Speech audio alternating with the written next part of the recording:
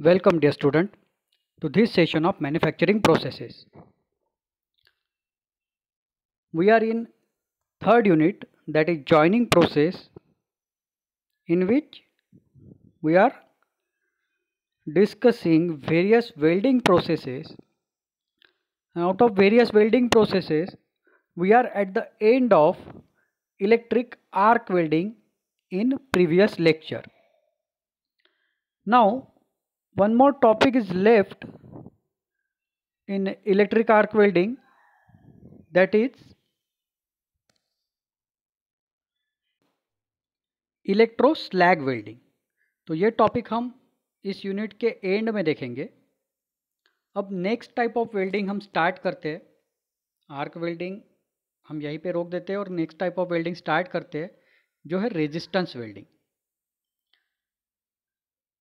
अब arc welding और resistance welding में बहुत मेजर डिफरेंस है। In arc welding we never use pressure for welding arc welding में हमने देखा होता, हमने इलेक्ट्रिक आर्क हम जनरेट करते हैं बिटवीन टू इलेक्ट्रोड्स और between electrode and work piece arc is nothing but a heat source which melt the metal and after solidification the welding is completed. Now what happened in a resistance welding? The resistance of material to electrical flow. Everybody must be familiar about the property resistance. इस property का हम use करते हैं जब किसी conductor से current pass होता है तो रेजिस्टेंस के वजह से वो मटेरियल हीट होना स्टार्ट होता है and this heat is directly proportionate to the resistance जितना रेजिस्टेंस ज़्यादा, उतनी हीट ज़्यादा डेवलप होगी। जितना रेजिस्टेंस कम, उतनी हीट कम डेवलप होगी। हमने देखा इलेक्ट्रिक हीटर इलेक्ट्रिक हीटर क्या करता है? रेजिस्टेंस का यूज़ करके बहुत ज़्यादा अमाउंट में हीट जनरेट करता है। और उस हीट का यूज़ हम क्या करते हैं? बहुत ज़्यादा जगह पे कर सकते हैं। Room heater water heater oven इन बहुत सारी जगह पे इलेक्ट्रिक हीटर यूज़ होते हैं। तो वही सेम फंडामेंटल यूज़ करके हम वेल्डिंग कर सकते हैं। लेकिन इस वेल्डिंग में और आर्क वेल्डिंग में बहुत बड़ा डिफरेंस ये है कि यहाँ पर हम मेटल को मेल्ट नहीं करते। अपने foundry sorry not foundry smithy का प्रॉक्टिक प्रैक्टिकल किया है फ़र्स्ट ईयर में। तो स्पीदी में हम मटेरियल को कहाँ तक हीट करते हैं? जब तक वो रेड हॉट नहीं होता है। At this red hot temperature, when material can be deformed or metal can be deformed by using minimum pressure. बहुत कम प्रेशर का यूज़ करके आप मेटल को डिफॉर्म कर सकते हो। दैट टेम्परेचर और that state of metal is called as plastic state जहाँ पर कम से कम फोर्स से आप मेटल को डिफॉर्म कर सकते हो। इतने टेम्परेचर पे उस मेटल को कहते हैं प्लास्टिक स्टेट उसमें परमानेंट डिफॉर्मेशन आ जाता है मेटल में प्लास्टिक स्टेट में जब होता है। तो रेजिस्टेंस वेल्डिंग में इसी प्लास्टिक स्टेट तक हम मेटल को हीट करते मेल्टिंग पॉइंट तक नहीं, उसे हमें लिक्विड में कन्वर्ट नहीं करना है। बस प्लास्टिक स्टेट में कन्वर्ट करना है। And at this plastic state a pressure और external pressure is applied on the two metals to generate a welding जो आर्क वेल्डिंग में हमने कभी भी प्रेशर अप्लाई नहीं किया था। लेकिन यहाँ पर प्लास्टिक स्टेट तक हीट होता है और उसके बाद हम एक्सटर्नल प्रेशर अप्लाई करते हैं। और इस हीटिंग प्लस प्रेशर, इसके कॉम्बिनेशन से आपका वेल्ड जनरेट होता है। So that is the major difference between arc welding and resistance welding अब देखते हैं the metal part to be joint are heated to a plastic state over a limited area बहुत कम जगह पर उसे हीट किया जाता है। By their resistance to flow of electric current and mechanical pressure is applied to complete the weld क्या करते हैं?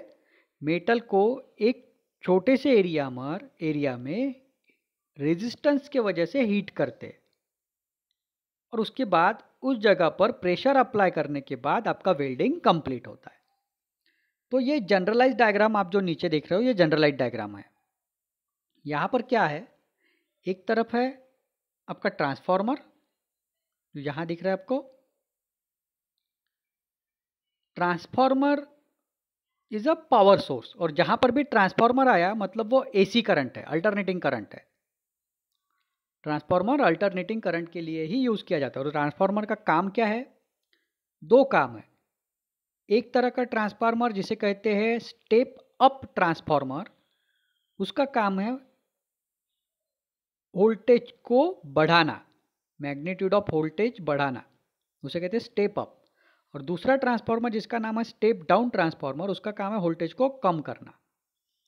तो ट्रांसफार्मर एक जगह पर होता है और ट्रांसफार्मर के दोनों टर्मिनल दो इलेक्ट्रोड से कनेक्ट होते हैं। यहाँ पर आप देख सकते हो दोनों जाके एक इलेक्ट्रोड से कनेक्टेड है। और ये इलेक्ट्रोड दोनों ऐसे मेटल के बने होते हैं जिसका रेजिस्टेंस बहुत कम है। फॉर एग्ज़ाम्पल कॉपर या एल्यूमिनियम एल्यूमिनियम जनरली यूज़ नहीं करते क्योंकि वो बहुत सॉफ्ट मेटल है। प्रेशर अगर अप्लाई करते हैं तो उस प्रेशर से वो डैमेज हो सकता है। इसलिए हम एल्यूमिनियम को प्रीफर नहीं करते। तो कॉपर, जिसका रेजिस्टेंस बहुत कम है, ऐसे मटेरियल से हम इलेक्ट्रोड बनाते हैं। तो यहाँ पर जो आपको दिख रहा है, ये कॉपर इलेक्ट्रोड है। इसमें से एक इलेक्ट्रोड आप अप डाउन डायरेक्शन में मूव कर सकते हो। मूवेबल आर्म जिसे कहते हैं। और एक होता है फिक्स वो अपने जगह पे फिक्स रहेगा। वर्कपीस को दोनों इलेक्ट्रोड के कांटेक्ट में रखा जाता है। यानी जब तक दोनों इलेक्ट्रोड आपस में कनेक्ट नहीं होंगे सर्किट कंप्लीट नहीं होगा। अब इलेक्ट्रोड जो कॉपर से बने हुए हैं, उनको कहते हैं लो रेजिस्टेंस सर्किट क्योंकि कॉपर का रेजिस्टेंस कम होता है। और जो भी आपको मेटल वेल्ड करने हैं, उसे हम रखते हैं यहाँ पर दो इलेक्ट्रोड के कॉन्टैक्ट में। Now due to the resistance difference जितनी भी हीट है, वो कहाँ जनरेट होगी? इस कॉन्टैक्ट पॉइंट पर जनरेट होगी। क्यों? क्योंकि वहाँ रेजिस्टेंस ज़्यादा है। जहाँ रेजिस्टेंस ज़्यादा होगा, वहाँ हीट ज़्यादा होगी। Because heat generated is directly proportionate to the resistance of the metal conductor के रेजिस्टेंस पे डिपेंड होता है। तो ये फंडामेंटल है। अब जैसे ही कांटेक्ट में कांटेक्ट आप यहाँ पर बनाओगे कांटेक्ट बनने के बाद क्या हो जाएगा? वहाँ सर्किट कंप्लीट होगा। और रेजिस्टेंस के वजह से एग्जैक्टली exactly उतना ही पोर्शन आपका क्या होगा? हीटअप होना स्टार्ट होगा। एग्जैक्टली exactly इतना ही पोर्शन आपका क्या होगा? हीटअप होना स्टार्ट होगा। इस तरह से। बाकी किसी भी पोर्शन पे हीट जनरेट नहीं होगी। क्योंकि इसी पोर्शन पे कांटेक्ट हुआ है। अब रेजिस्टेंस की वजह से हीट जनरेट होगी, हीट जैसे ही जनरेट होगी, आपका मेटल प्लास्टिक स्टेट में आना स्टार्ट हो जाएगा। अब जैसे ही वो प्लास्टिक स्टेट में आता है we will apply the pressure on movable arm movable arm को हम नीचे की तरफ़ प्रेस करना स्टार्ट करेंगे, उसे एक्सटर्नल प्रेशर अप्लाई करेंगे। अब इस प्रेशर के वजह से दोनों मेटल परमानेंटली एक दूसरे से कनेक्ट हो जाएँगे। That is called as resistance welding resistance welding में बहुत सारे टाइप्स है। There are lot of types but this diagram is applicable to each and every type बस इतना हो सकता है पोजीशन में डिफरेंस आ जाए। पार्ट की पोजीशन अलग हो। इलेक्ट्रोड के शेप अलग हो। लेकिन बेसिक प्रिंसिपल एग्जैक्टली सेम रहेगा जो मैंने आपको इस डायग्राम में एक्सप्लेन किया है। अब इसी को पॉइंट बाय पॉइंट हम देखते हैं।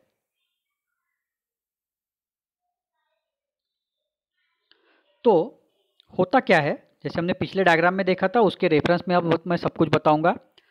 Two copper electrodes are connected in low resistance circuit presses the metal to be welded the circuit is completed circuit कब कंप्लीट होगा? जब दोनों कॉपर इलेक्ट्रोड से बीच में जो मेटल रखा हुआ है वेल्डिंग के लिए, उसे प्रेस करना स्टार्ट करेंगे तो सर्किट कंप्लीट हो जाएगा। तब तक नहीं होगा। The electric resistance at the joint of metal to be welded is very high compare to remaining circuit so highest temperature is produce at the joint copper का रेजिस्टेंस कम है। आप ऐसे किसी भी मेटल को वेल्ड नहीं कर सकते, जिसका रेजिस्टेंस कॉपर से कम है। बिकॉज़ उस केस में क्या होगा? In that case the more temperature will be generated at the electrode not the metal to be welded तो ऐसे ही मेटल को आप वेल्ड कर सकते हो, जिसका रेजिस्टेंस कॉपर से ज़्यादा है। Otherwise it is not possible to weld that metal if the resistance is lower than copper तो हीट इज़ इक्वल टू, अगर आपको किसी भी कंडक्टर में कितना हीट जनरेट हुआ ये कैलकुलेट करना है तो उसके लिए क्या फॉर्मूला है? Heat equal to I square R T I is nothing but a current R is nothing but a resistance and T is a time for current flow कितने टाइम के लिए करंट फ्लो हो रहा है, वो time है। इन सब का मल्टीप्लीकेशन क्या मिलता है आपको? Heat generated so it is current square multiply by resistance of that metal और material multiply by time for which the current flow. So from this equation we can say heat is directly proportionate with the resistance. जितना resistance ज़्यादा उतनी heat generated ज़्यादा जितना resistance कम उतनी heat generated come now mostly alternating current is used as any desired combination of voltage and current can be produced by using a transformer. Alternating current हम resistance welding के लिए prefer करते हैं, क्योंकि आप ट्रांसफार्मर यूज़ कर सकते हो।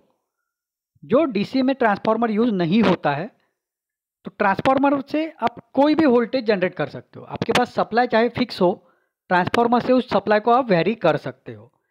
So that is because of this आप कौन सा करंट हमेशा प्रीफर करते हो? कौन सा सप्लाई प्रीफर करते हो? अल्टरनेटिंग करंट सप्लाई प्रीफर करते हो रेजिस्टेंस वेल्डिंग के लिए। For continuously operating machine the electrodes are water cooled अगर मास प्रोडक्शन के लिए रेजिस्टेंस वेल्डिंग की मशीन यूज़ होती है तो इलेक्ट्रोड के डैमेज को कम करने के लिए उसमें कूलिंग दी जाती है, जो वाटर से कूल होता है। तो ये कहाँ यूज़ होता है? जहाँ मास प्रोडक्शन है कंटिन्यूस प्रोडक्शन है, उसी समय। Metal with medium and high resistance like steel stainless steel monel metal silicon bronze are easy to weld low resistance के मेटल यहाँ वेल्ड करना थोड़ा मुश्किल जाता है in resistance welding so at least medium resistance होना चाहिए और हाई रेजिस्टेंस के तो कभी भी वेल्ड हो सकते हैं। तो ये कंप्लीट टेक्निक किस पे डिपेंड है? रेजिस्टेंस ऑफ़ दैट कंडक्टर उस मेटल के रेजिस्टेंस के ऊपर ये टेक्निक का सक्सेस रेट डिपेंड है। Now we will see the types of resistance welding देखिए, इसमें डायग्राम आपको थोड़ी अलग दिख सकती है, लेकिन कुछ चीज़ें एग्जैक्टली सेम होगी। जैसे ट्रांसफॉर्मर हर रेजिस्टेंस वेल्डिंग में मिलेगा आपको। प्रेशर हमेशा मिलेगा आपको, क्योंकि प्रेशर से ही ये वेल्डिंग होती है। और इलेक्ट्रोड जो ट्रांसफार्मर के साथ कलेक्टेड है। उसका शेप अलग हो सकता है, उसका मूवमेंट अलग हो सकता है, लेकिन ये चीज़ें कॉमनली आपको सारे रेजिस्टेंस वेल्डिंग में मिलेगी, क्योंकि फंडामेंटल या बेसिक सारे सेम है। तो रेजिस्टेंस वेल्डिंग में पहला टाइप हम देखते हैं that is the butt welding types और बट वेल्डिंग में एक सब टाइप दो और सब टाइप है, उसमें से पहला है अपसेट बट वेल्डिंग अब अपसेट बट वेल्डिंग में क्या होता है? देखिए, यहाँ पर भी आपके पास ट्रांसफार्मर है तो ट्रांसफॉर्मर तो है ही। ट्रांसफार्मर कलेक्ट कनेक्टेड है दो इलेक्ट्रोड के साथ, जो कॉपर से बने होंगे फिर से, लेकिन ये इलेक्ट्रोड अब किस फॉर्म में है? जॉ के फॉर्म में। जैसे आपने कारपेंट्री में जॉ देखे, जॉ वाइस में दो जॉ होते हैं, एक मूवेबल और एक फिक्स, दो जॉ के बीच में आप वर्कपीस को होल्ड करते हो। तो सिमिलर यहाँ पर एक जॉ है, जो एक टर्मिनल के साथ कनेक्टेड है और यहाँ पर दूसरा जॉ है, जो दूसरे टर्मिनल के साथ कनेक्टेड है। तो ये जॉ ही क्या वर्क कर रहे हैं? एज अ इलेक्ट्रोड और ये कॉपर से बने होंगे। इसमें हम दो बार शेप रॉड अटैच करते हैं, जिन्हें हमें वेल्ड करना है। बट वेल्ड में सिलेंड्रिकल ऑब्जेक्ट मोस्टली हम वेल्ड करते हैं। क्योंकि फेस टू फेस वेल्ड होता है। सरफेस टू सरफेस नहीं। दोनों के फेस एक दूसरे के साथ वेल्ड होते हैं। ये वीडियो देखेंगे तो आपको और क्लियर होगा। तो वर्क पीस हम इस जॉ में होल्ड करते हैं। दोनों का जहाँ पर कॉन्टैक्ट होगा, वहाँ पर हायर रेजिस्टेंस रहेगा और यहाँ पर हीटिंग स्टार्ट हो जाएगा। हीटिंग जैसे स्टार्ट होगा, हम साइड से, दोनों साइड से प्रेशर अप्लाई करना स्टार्ट कर देंगे और इस प्रेशर के वजह से यहाँ जॉइंट फॉर्म होगा। नाउ यहाँ आप देख सकते हो कि जो डायमीटर है जॉइंट पे, वो थोड़ा सा स्लाइटली लार्जर है compare to the diameter of work piece this is because of the pressure applied और ये जो डायमीटर में इंक्रीज हो जाता है, इसे कहते हैं upset increase in diameter due to pressure इसे कहते हैं ऑपसेट और इस ऑपसेट के वजह से इस वेल्डिंग को हम क्या कहते हैं? अपसेट बट वेल्डिंग तो अपसेट मतलब क्या? ये जो डायमीटर में इंक्रीज हुआ है साइड से प्रेशर अप्लाई करने की वजह से. तो अब देखते हैं ये वेल्डिंग कैसे होता है. The parts to be welded are clamped in copper jaws copper के जॉ होते हैं जो एज ओ इलेक्ट्रोड होते हैं। यहाँ इलेक्ट्रोड किस फॉर्म में जॉ के फॉर्म में। So in copper jaw of welding machine and brought together in a solid contact solid contact एक बात ध्यान में रखिए। सॉलिड कॉन्टैक्ट मतलब पूरी तरह से कॉन्टैक्ट में। तो वो सॉलिड कॉन्टैक्ट में लाए जाते हैं। So that the point of contact forms a locality of high electric resistance जहाँ पर दोनों कॉन्टैक्ट में आ जाएँगे, वो पॉइंट कैसे होगा? हाई इलेक्ट्रिक रेजिस्टेंस का। And current flows to heat the joint और जैसे ही करंट फ्लो स्टार्ट हो जाएगा हाई रेजिस्टेंस की वजह से वो जॉइंट हीटअप होना स्टार्ट होगा। At this point the pressure is applied which upset और forges the parts together forging action होता है, जैसे स्मिथी में हुआ था। एग्जैक्टली सेम फोर्जिंग एक्शन होता है प्लास्टिक स्टेट में मेटल जैसे ही आ जाता है हीट की वजह से, दोनों तरफ़ से प्रेशर अप्लाई होगा और प्रेशर की वजह से वेल्डिंग कंप्लीट होता है। Use for non ferrous metals and components like bars rod wire and tubing etcetera generally cylindrical shape के लिए ही बट वेल्ड हम प्रिफर करते हैं resistance butt weld so this is the first type of resistance welding that is resistance butt welding और उसमें भी पहला सब टाइप है that is upset butt welding upset मतलब ये जो जॉइनिंग की टेक्निक है प्रेशर अप्लाई करने से, और जो डायमीटर में इंक्रीज हो जाता है दैट इज़ द अपसेटिंग और इसी अपसेटिंग की वजह से दोनों मेटल आपस में परमानेंटली वेल्ड हो जाते हैं। So that is the method of welding let's see one video about this technique ये वीडियो आपको क्लियरली देखना है और बहुत ध्यान से देखना है।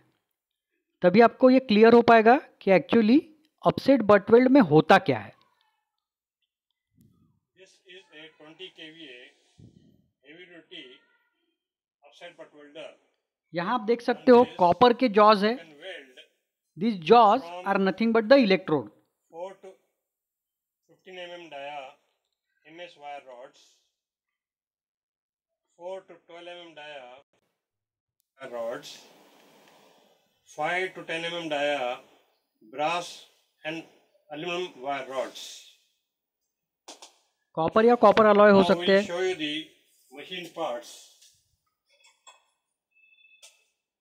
थोड़ा ध्यान से देखिए वीडियो Inside this machine, और समझने की कोशिश कीजिए क्या हो रहा है incorporated 20 kVA heavy duty resistance butt welding transformer. These over here are the two chromium, zirconium, copper welding jars.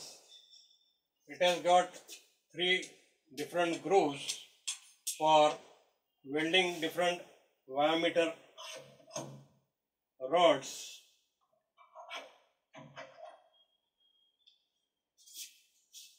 These are the clamping levers for clamping the job like this. These over here are the unling jaws. Just over here is a current selector switch. At tap number 1 you have the lowest current and at tap number 8 you have the highest current. You can adjust the current depending upon the diameter of the rod to be butt welded. Now this over here is the gap adjusting lever so that you can adjust the gap between the two jaws depending upon the wire rod diameter to be welded. Just over here is a pressure adjustment barrel. You can increase the pressure if the diameter is more and decrease the pressure if the diameter is less. This over here is a current cutoff thimble. First of all, you have to connect this machine to two lines of three phase 400 volts, 40 amperes, 50 HZ power supply and connect proper earthing to the body. Now we'll show you the working of the machine. Say first of all we have to adjust the current cutoff. First of all keep this lever at number 3 and keep on pressing this switch. You will see the conductor noise if I move this thimble outside. See like this. So now this thimble you take it in such a way that conductor gets cut off inside it means the cutoff limit is set over here then you can tighten this screw like this so that nobody can now change the cutoff position over here. Say for welding 8 mm plus 8 mm MS wire rods, first of all we have to adjust the current. Say keep this rotary switch at number 5 this pressure barrel again at number 8 like this you will see there is a scale provided over here on this you can read the settings ये pressure adjust करने का system है So that pressure is adjusted for butt welding 8 mm dia MS rods. Now you can adjust the gap between the two jaws by taking out this lever and putting at number और ये arm के movement के लिए है clamp movable arm है उसमें से जब मूवेबल इलेक्ट्रोड है उसके मूवमेंट के लिए। अब प्रोसेस देखिए। And clamping these rods over here. जिसे वेल्ड करना है वो एक सर्कुलर रॉड है सिलेंड्रिकल रॉड है। उसे जॉ में पहले होल्ड करते हैं। दोनों जॉ में दो अलग अलग रॉड जिसे वेल्ड करना है उसे होल्ड करेंगे। other side also 8 mm dia rod and वो then कैसे होने चाहिए सॉलिड कांटेक्ट में clamp the lever like this fully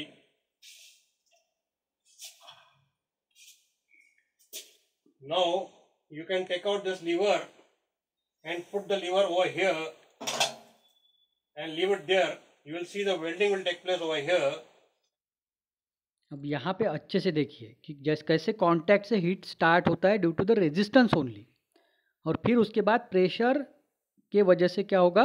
upset form होगा उस अपसेट को भी क्लियरली देख आपको देखने को मिलेगा। तो अब थोड़ा ध्यान से देखिए। And the cutoff will be. See how this is welded. Now समझ में आया प्रोसेस पहले हीट हुआ रेजिस्टेंस की वजह से उसके बाद तुरंत क्या हुआ? प्रेशर अप्लाई हुआ। उसकी वजह से अपसेट फॉर्म होगा और दोनों रॉड परमानेंटली एक दूसरे के साथ कनेक्ट हो जाएँगे you can declamp the rod.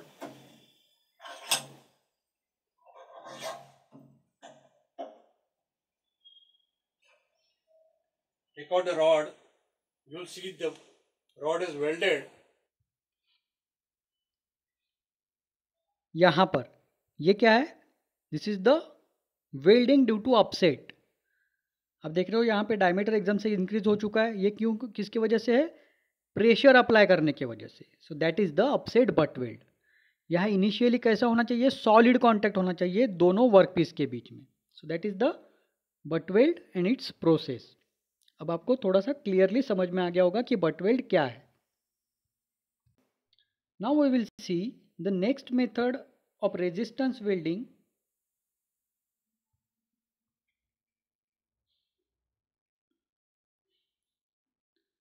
butt welding में दूसरा सब टाइप है that is called as flash butt welding अब अगर आप डायग्राम देखते हो तो आपको क्लियरली समझ में आएगा कि दोनों तो सेम दिख रहा है। Diagram is exactly looking same सारी चीज़ें सेम दिख रही है ट्रांसफार्मर है, यहाँ से प्रेशर भी अप्लाई हो रहा है वर्क पीस दो जॉज में फिक्स है। लेकिन एक छोटा सा डिफरेंस यहाँ पर है। अपसेट बट वेल्ड में क्या होता था? यहाँ पर सॉलिड कॉन्टैक्ट होता था। But in flash butt weld there is a gap in between the work piece और इस गैप के वजह से, जैसे ही करंट फ्लो होना स्टार्ट होता है तो जैसे आर्क वेल्डिंग में स्पार्क जनरेट होता है या आर्क जनरेट होती है, उसी तरह से स्पार्किंग दोनों वर्क पीस के बीच में स्टार्ट हो जाता है बिकॉज़ ऑफ़ द गैप यहाँ पर सॉलिड कॉन्टैक्ट में हम उसे पहले नहीं लाते। Initially there is a gap due to this gap the sparking starts and the major heating is done because of this sparking between the two workpiece. After that they are brought in contact. कुछ देर sparking होता है उसके बाद उसे contact में लाया जाता है and now the pressure is applied and after that it is exactly similar to the upset butt weld. But the sparking is completely upset in upset butt weld and here there is a small gap and due to that a parking sparking takes place before the welding तो upset butt weld में completely resistance से ही welding होता है। लेकिन flash butt welding में थोड़ा सा welding due to the sparking और थोड़ा सा वेल्डिंग रेजिस्टेंस के वजह से। That is the major difference between two otherwise the process is exactly same आप डायग्राम से देख सकते हो कि प्रोसेस एग्जैक्टली सेम है। तो फिर भी एक बार पॉइंट वाइज देख लेते हैं। Edges of the work piece are brought together in light contact वहाँ पर कैसा था? सॉलिड कॉन्टैक्ट यहाँ पर क्या है? इनिशियली उसे लाइट कॉन्टैक्ट में रख दे थोड़ा सा गैप रखेंगे। A high voltage start sparking action between the two surfaces and forging temperature is reach वहाँ पर फोर्जिंग टेम्परेचर क्यों रीच होता था? रेजिस्टेंस के वजह से। यहाँ पर फोर्जिंग टेम्परेचर क्यों रीच हो रहा है? स्पार्किंग के वजह से। यह हमेशा ध्यान में रखना।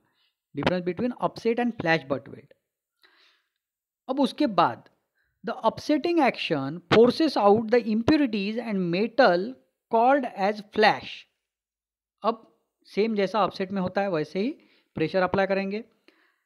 इस प्रेशर के वजह से मेटल जो बाहर निकलता है उसे क्या कहते हैं हम? फ्लैश कहते हैं। उस केस में अपसेट बटवेल्ड में हम उसे क्या कहते थे? अपसेट लेकिन फ्लैश बट वेल्ड में जो मेटल बाहर आता है उसे हम क्या कहते हैं? Flash that's why it is called as flash butt weld लेकिन दोनों में मेजर डिफरेंस क्या है? अपसेट बट वेल्ड में सॉलिड कॉन्टैक्ट होता है। फ्लैश बट वेल्ड में दोनों के बीच में लाइट कॉन्टैक्ट होता है। यानी थोड़ी सी गैप होती है। सो so, ये मेजर डिफरेंस है। वहाँ पर अपसेट बट वेल्ड में रेजिस्टेंस की वजह से हीट होता है यहाँ स्पार्किंग की वजह से हीट होता है। Many metals and combination can be flash butt welded except cast iron, lead, tin, zinc and antimony. Most of the metal हम यहाँ पर वेल्ड कर सकते हैं। अपसेट बट वेल्डिंग का सबसे बड़ा डिसएडवांटेज ये है कि लो रेजिस्टेंस के मेटल वहाँ पर वेल्ड नहीं हो सकते because the heat is generated due to the resistance only यहाँ पर लो रेजिस्टेंस के मेटल भी हम वेल्ड कर सकते हैं because heat is generating due to the flash as well as resistance तो यहाँ कोई भी मेटल आप वेल्ड कर सकते हो except cast iron lead tin zinc and antimony बाकी सारे मेटल आप इससे वेल्ड कर सकते हो। ये इसका एडवांटेज है। Mostly use in automobile for construction of body axle wheels frames etcetera और इसी वजह से ये ऑटोमोबाइल इंडस्ट्री में पॉपुलर है। फॉर द गिवन एग्जाम्पल्स अब इसका भी एक वीडियो देख लेते हैं। अब देखिए, अगर आप मशीन को देखते हो तो मशीन तो थोड़ी बहुत वैसी दिखती है। यहाँ पर आपको कॉपर की इलेक्ट्रोड दिखेंगे। एग्जैक्टली exactly वैसे ही जॉज यहाँ पर है वर्कपीस को होल्ड करने के लिए। और दोनों के बीच में आप एक जॉ होगा मूवेबल एक होगा फिक्स ताकि आप डिस्टेंस दोनों के बीच में एडजस्ट कर सको। तो मशीन या टेक्निक एग्जैक्टली exactly वही है। बस वहाँ पर पूरी तरह से कांटेक्ट होता है, यहाँ पर कांटेक्ट नहीं होता है। तो डिफरेंस क्या है? ये आपको उसके वर्किंग में दिखेगा। तो अब वर्किंग देखिए।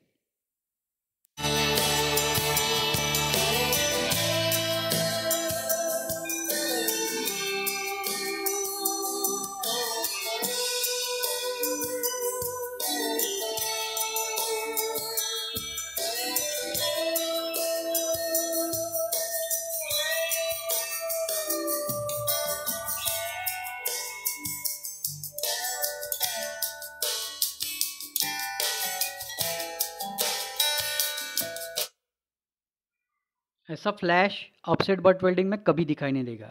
यहाँ फ्लैश दिखाई देता है क्योंकि दोनों के बीच में गैप है तो वो स्पार्किंग जैसा होता है।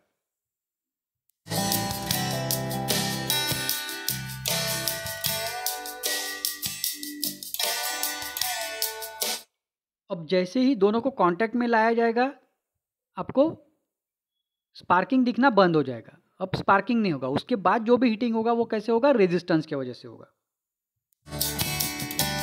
Now it is completely stop because now there is a solid concept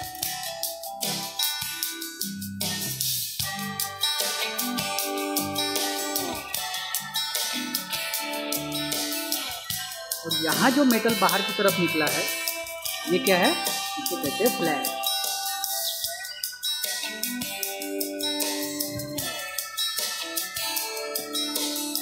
इस तरह से ये दोनों टेक्निक क्या है?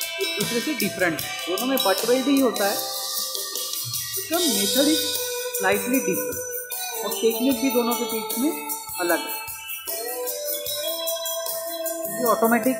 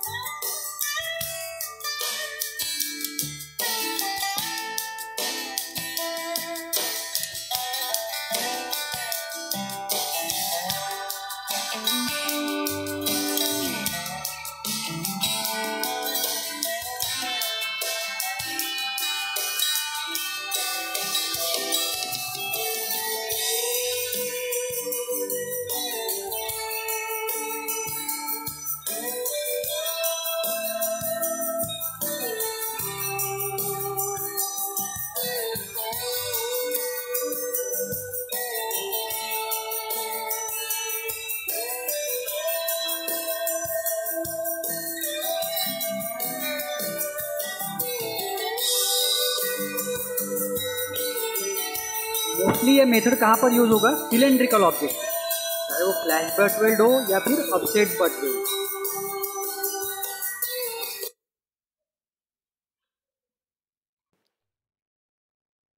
so student we will stop here for today's lecture आज ये के लिए यहीं पे रुकते हैं।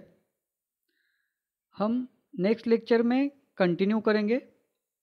हमारे रेजिस्टेंस वेल्डिंग के बाकी मेथड्स और नेक्स्ट लेक्चर में हम रेजिस्टेंस वेल्डिंग ख़त्म करके नेक्स्ट टाइप ऑफ़ वेल्डिंग के लिए भी जाएँगे।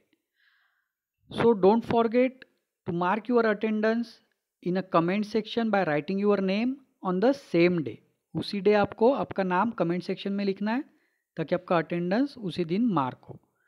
Thank you student we will stop here